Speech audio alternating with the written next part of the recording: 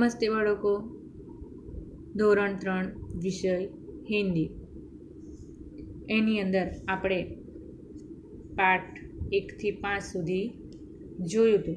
જેની અંદર આપણે પહેલો પાઠ જે વર્ણમાલાની પહેચાન. એ વર્ણમાલાની પહેચાન એટલે કે મૂળાક્ષરોનો પરિચય, જેને સ્વર અને વ્યંજન આપ્યા છે એ આપણે કર્યા હતા. ત્યાર પછી એનું સ્વાધ્યાય ચોપડીની અંદર પણ લખવાનું હતું અને નોટની અંદર પણ તમારે લખવાનું હતું પાઠ એકનું સ્વાધ્યાય.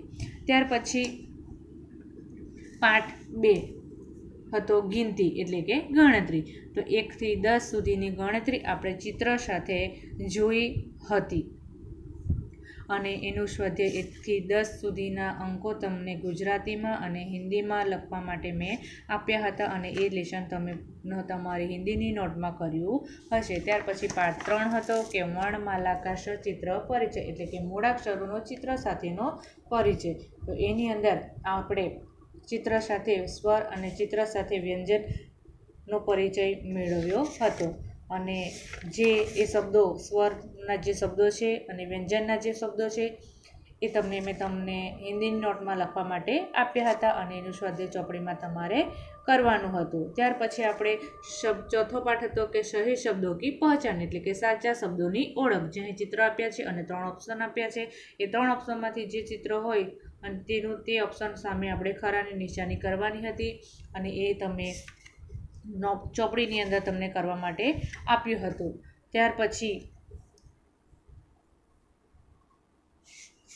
આ પેજ ઉપરનું જે ચિત્ર આપ્યું છે, એમાં અમુક શબ્દ અક્ષર વર્ણ આપેલા ન હતા. અક્ષર મૂકીને આપણે એ આખું શબ્દ પૂર્ણ કરવાનો હતો કે ખાલી જગ્યા એ હતો શું આવશે? તો ગા તો ગા ય. એવી રીતના આપણે એ પણ તમને મેં ચોપડીની અંદર કરવા માટે આપ્યું હતું. ત્યાર પછી એનું સ્વાધ્યાય પણ તમારે તમારી ચોપડીની અંદર કરવાનું હતું અને નોટની અંદર પણ કરવાનું હતું. ત્યાર પછી પાઠ પાંચ હતો કે શબ્દ બનાવો, એટલે કે શબ્દ બનાવો. તો અહીં જે આ કોષ્ટકમાં આપ્યા હતા, એ શબ્દ તમને મેં તમને હિન્દીની નોટમાં લખવા માટે આપ્યા હતા. અહીં અમુક શબ્દો આપ્યા છે. આપણે એક શબ્દ એટલે કે એક વર્ણ મૂકીને આખો શબ્દ બનાવવાનો હતો. એ આપણે કર્યું હતું. ત્યાર પછી પછાડી પણ જે કોષ્ટકમાં આપ્યા હતા, એ કોષ્ટક તમારે તમારા જે શબ્દો છે એ તમારે ગુજરાતીમાં અને હિન્દીમાં બંને રીતે લખીને નોટની અંદર તમારે લખવાના હતા. હવે ત્યાર પછી આગળનો પાઠ જોઈશું. પાઠ નંબર છ, શબ્દો કા અભ્યાસ, એટલે કે શબ્દોનો મહાવરો શબ્દોનો આપણે અભ્યાસ કરવાનો છે. તો અહીં લખ્યું છે કે પઢો ઓર સમજો, વાંચો અને સમજો. તાલા. બકરી, ધનુષ, ચૂહા, ઘોડા, ઘડી, છાતા, તોતા, ડાકિયા, નારિયેલ. તો અહીંયા આ જે શબ્દો આપ્યા છે, હવે એ શબ્દોના હું ગુજરાતી અર્થ પણ બોલીશ કે તાલા એટલે શું થશે? તાળું.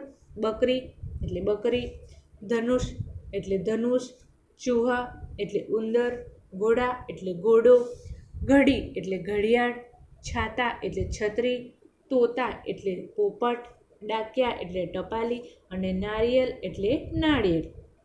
તો અહીં જે શબ્દો આપ્યા છે અને એના નીચે ચિત્ર આપ્યા છે. હવે ચિત્રની સામે આપણે ઉપરથી જે શબ્દો જોઈને એ ચિત્રની સામે એનું નામ લખવાનું છે. તો અહીં લખ્યો છે પ્રશ્ન બે કે ઉપર દિએ હુએ શબ્દો સે સહી શબ્દ ચૂનકર નીચે ચિત્ર કે સામને લીખો. એટલે કે જે ઉપરના આપેલા શબ્દોમાંથી સાચો શબ્દ પસંદ કરીને નીચે ચિત્રની સામે આપણે લખવાનો છે. તો અહીં આપણને આ ચિત્ર દેખાય છે ને? અહીં આપણને ચિત્ર બધા આપ્યા છે. હવે એ ચિત્ર શું છે? એનું નામ શું છે? તે અહીં આપણને જે લીટી આપી છે, એની અંદર આપણે લખવાનું છે. તો અહીં આપ્યું છે પહેલું ચિત્ર ઘડિયાળ છે. તો ઘડિયાળને હિન્દીમાં શું કહેવાશે?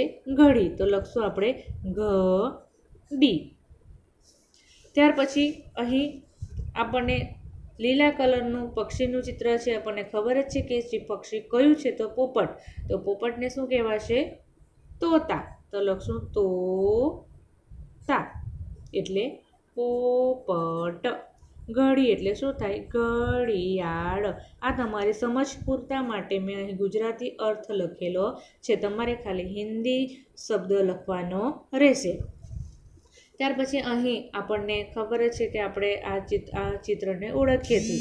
તો એ શાનું ચિત્ર છે. તો એ ચિત્ર છે નાળિયેર તો આપણે લખશું નારિયલ. નારિયલ. એટલે શું થશે? નાળિયેર નાળિયેર ત્યાર પછી આપણને આ ચિત્ર દેખાય છે. એ ચિત્ર શાનું છે. તો એક ટપાલી છે. જે ટપાલી ઘરે ઘરે ટપાલ વેચે છે, તો એને આપણે હિન્દીમાં શું કહેશું? ડાકિયા. શું કહેશું? ડાકિયા. એટલે શું થાય? ટપાલી. ત્યાર પછી અહીં આપણને ચિત્ર દેખાય છે, તો એ ચિત્ર શાનું છે? બકરીનું છે. તો આપણે હિન્દીમાં લખશું બકરી.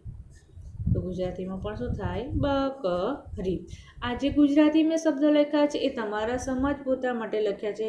મેં નોટમાં લખ્યા છે, હું તમને બતાવીશ, ત્યારે તમે તેનો સ્ક્રીનશોટ પાડી લેજો અને સ્ક્રીનશોટ પાડીને એ શબ્દો તમારે તમારી હિન્દીની નોટમાં ત્રણમાં લખવાના રહેશે.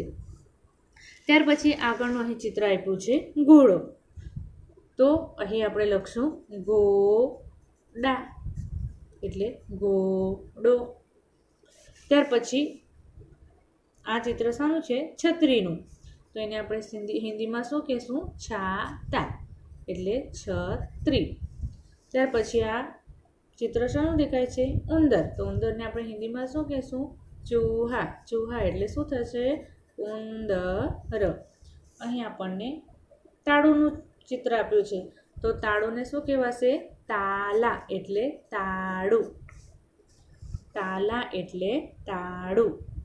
ત્યાર પછી અહીં ધનુષનું ચિત્ર આપ્યું છે. તો અહીં આપણે લખશું ધનુષ. એટલે ધનુષ.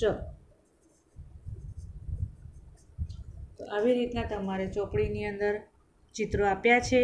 તો ચિત્રની બાજુમાં તમારે એના ઉપર આપણને કોષ્ટકની અંદર આપણને નામ આપી જ દીધા છે. ચિત્રની સામે સાચો શબ્દ લખવાનો છે. જે મેં લખી દીધો છે અને સાથે ગુજરાતી પણ લખ્યા છે. તમારે ગુજરાતી લખવાના નથી. તમારે ખાલી હિન્દી શબ્દ જ લખવાના રહેશે. ધ્યાનમાં રાખજો કે હિન્દી શબ્દ જ લખવાના છે, ગુજરાતી શબ્દ લખવાના નથી. તો અહીં આ પેજ આપણે કર્યું. હવે નીચે અહીં આપ્યું છે કે ઉપર કે ચિત્ર કે નામ નીચે ક્રમ સે લીખો. એટલે કે જે અહીં ઉપરના ચિત્રો આપ્યા છે, તો એ ચિત્રોના નામ ક્રમ પ્રમાણે લખો. તો ક્રમ પ્રમાણે આપણે એ ચિત્રોના નામ લખવાના છે. જે રીતના અહીં લખ્યા પડે બાજુમાં કે ઘડી ઘડિયાળનું ચિત્ર છે તો આપણે લખ્યું ઘડી. તો એવી રીતના ક્રમ પ્રમાણે બધા ચિત્રોના નામ આપણે લખવાના છે. તો અહીં લખશું પહેલું કે ઘડી. ત્યાર પછી તોતા. ત્યાર પછી ચાલજું ચાલશું નારિયલ ત્યાર પછી ડાકિયા. ત્યાર પછી બકરી. ત્યાર પછી ઘોડા. પછી આવશે છાતા. ચૂહા. ત્યાર પછી આવશે તાલા. અને છેલ્લે આવશે ધનુષ. તો એવી રીતના ક્રમ પ્રમાણે તમારે ચોપડીની અંદર હિન્દી નામ લખી રહેવાના રહેશે. ત્યાર પછી આપણે બાજુનું પેજ જોઈશું. બાજુના પેજ પર પણ જેવી રીતના આપણે આગળનું આ પેજ કર્યું, એવી રીતના જ અહીં બાજુનું પેજ કરવાનું છે. કે પઢો ઓર સમજો, વાંચો અને સમજો. અનાર ગિલાસ, ઈંટ, ડમરું, તરાજુ. રેડિયો, પલંગ, તરબૂચ, મોર, પતંગ. તો એના પણ આપણે ગુજરાતી નામ લખવાના કે અનાર એટલે દાડમ, ગિલાસ એટલે ગ્લાસ, ઈંટ એટલે મકાન ચડવા માટે વપરાતી ઈંટ. ત્યાર પછી ડમરું, તરાજુ એટલે ત્રાજવું. રેડિયો એટલે રેડિયો, પલંગ એટલે પલંગ, તરબૂચ એટલે તરબૂચ. મોર એટલે મોર અને પતંગ એટલે પતંગ. તો અહીં પણ જે જે ઉપર ચિત્રો ઉપર જે શબ્દો આપ્યા છે, હવે એ શબ્દો તમારે અહીં નીચે ચિત્ર આપ્યા છે, તો એ ચિત્રમાં લખવાના છે. જે ચિત્ર હોય એ ચિત્રની સામે તે શબ્દ લખવાનો છે. તો અહીં લખ્યું છે કે ઉપર દિए હુએ શબ્દો સે, સહી શબ્દ ચૂનકર નીચે ચિત્ર કે સામને લીખો. એટલે કે ઉપર આપેલા શબ્દોમાંથી સાચો શબ્દ પસંદ કરવાનો છે અને જે નીચે ચિત્ર આપ્યા છે એની સામે લખવાનો છે. એટલે જે અહીં કોષ્ટકમાં જે શબ્દો આપ્યા છે, એ શબ્દો અહીં નીચે ચિત્ર જોવાના છે અને જે ચિત્રની સામે તેનો સાચો શબ્દ આપણે લખવાનો છે. તો અહીં આપ્યું છે મોર. તો આપણે લખશું મોર. ત્યાર પછી અહીં ત્રાજુ આપ્યું છે. તો લખશું તરાજુ. ત્યાર પછી ગ્લાસ. કાચનો ગ્લાસ આપ્યો છે. તો અહીં આપણે લખશું ગીલાસ. ત્યાર પછી અહીં દાડમ. તો લખશું અનાર. ત્યાર પછી તરબૂચ. તો લખશું તરબૂચ તરબૂચ. ત્યાર પછી અહીં આપ્યું છે પતંગ. તો લખશો પતંગ. અહીં રેડિયો. તો લખશું રેડિયો અહીં ડમરૂનું ચિત્ર આપ્યું છે. તો લખશું ડમરું. ત્યાર પછી અહીં પલંગ, બેડ. તો લખશું આપણે પલંગ. અહીં ઈંટ, તો લખશું ઈંટ. તો અહીં ચિત્રની સામે એના સાચો શબ્દ આપણે ઉપરથી જે કોષ્ટકમાં આપ્યા છે, એમાંથી જોઈને લખવાના છે. મોર એટલે મોર થશે, તરાજુ એટલે તાજુ થશે અહીં મેં જે પહેલાં પેજ પર જે ગુજરાતી નામ લખ્યા તે અહીં અહીં બીજા પેજ પર લખતી નથી. કારણ કે હું તમને એ નોટની અંદર બતાવી દઈશ અને નોટની અંદર તમે સ્ક્રીનશોટ પાડી લેજો અને સ્ક્રીનશોટ પાડીને તમારે તમારી હિન્દીની નોટમાં ત્રણ વાર આ બંને પેજ ઉપરના જે શબ્દો આપ્યા છે, એ બંને પેજ પરના જે શબ્દો છે, એ તમારે એ તમારી હિન્દીની નોટની અંદર ત્રણ વાર નામ લખવું, પાઠનું નામ લખવાનું, કે શબ્દો કા અભ્યાસ, શબ્દોનો મહાવરો, પછી જે સૂચના લખી હશે મેં નોટની અંદર, એ સૂચના લખવાની અને નીચે જે આ શબ્દો મેં લખેલા હશે નોટની અંદર, એ તમારે તમારી હિન્દીની નોટમાં ત્રણ વાર લખવાના રહેશે. હવે નીચે અહીં આપ્યું છે કે ઉપર કે ચિત્રો કે નામ નીચે ક્રમ સે લીખો. એટલે કે અહીં જે ઉપરના ચિત્રો આપ્યા છે, એને ક્રમ પ્રમાણે લખવાના છે. તો અહીં આપણે પહેલું ચિત્ર આપ્યું છે શાનું મોર. તો અહીં આપણે લખશું. મોર. ત્યાર પછી આવશે તરાજુ. તો લખશું તરાજુ. ત્યાર પછી આવશે ગિલાસ. તો લખશું ગિલાસ. ત્યાર પછી આવશે અનાર. તો લખશું અનાર. ત્યાર પછી આવશે તરબૂચ. તો લખશું તરબૂજ. ત્યાર પછી આવશે પતંગ. તો અહીં લખશું આપણે પતંગ. ત્યાર પછી આવશે રેડિયો. તો લખશું આપણે રેડિયો. ત્યાર પછી આવશે ડમરું. તો આપણે લખશું અહીં ડમરું. તો ક્રમ પ્રમાણે પછી આવશે પલંગ. તો લખશું પલંગ. પછી લાસ્ટમાં છેલ્લે શું આવશે? ઈંટ.